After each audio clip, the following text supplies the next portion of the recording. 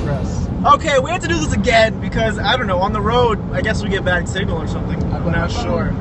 But um, we are just coming back from where? We're coming back. First of all, we, my name's Eric.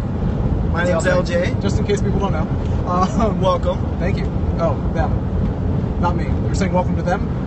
We are just coming back from Sunrise, Florida, the BB&T Center, the home of the Florida Panthers hockey team. Florida Panther. Oh, sorry. That's what, What- I was just what- doing. I was just trying out to be the public address announcer for the Florida Panthers.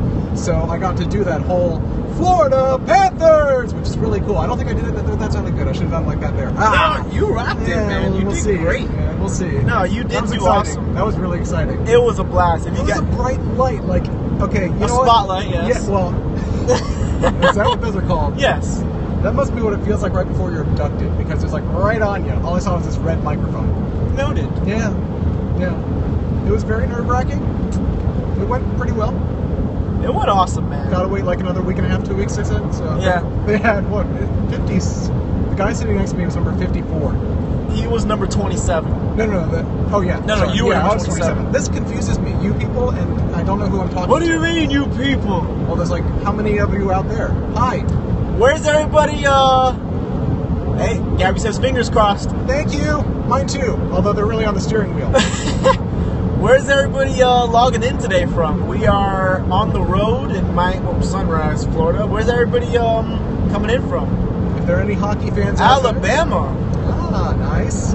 as they should be. Phoenix, shout out to Phoenix. Oh God, is it hot out there like it is here? It's probably worse. Probably is. Yesterday, the feels like temperature here was 108. Feels like, not the actual. God. Yeah. Summertime in Miami. If you guys are just tuning in, we did a Periscope a couple hours ago. We were on our way up to Sunrise, uh, Florida, because we were going to the BB&T Center. Yeah, we do have a beach. That's true, Phoenix. it's Uh, freezing in Minnesota. That sucks. Oh, that Um, sounds wonderful. This is this is sunny South Florida for you.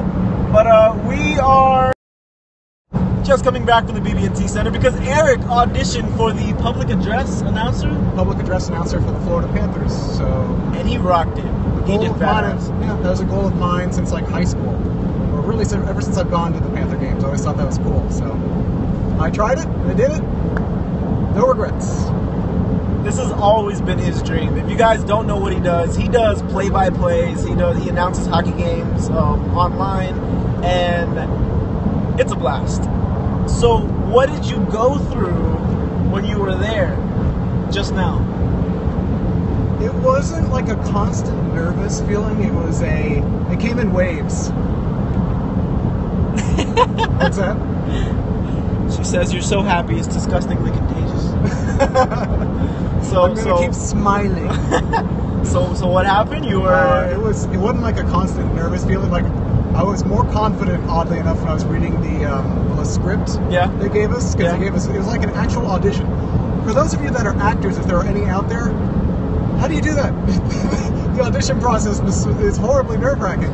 Yeah, you wait an hour to go in there for 20 seconds. Yeah. And that's it. And that's, it. That's, it. That's it. Yeah. So I don't know how. You, I, man, more power to you. I admire you guys. But uh, yeah, so it was an actual live audition.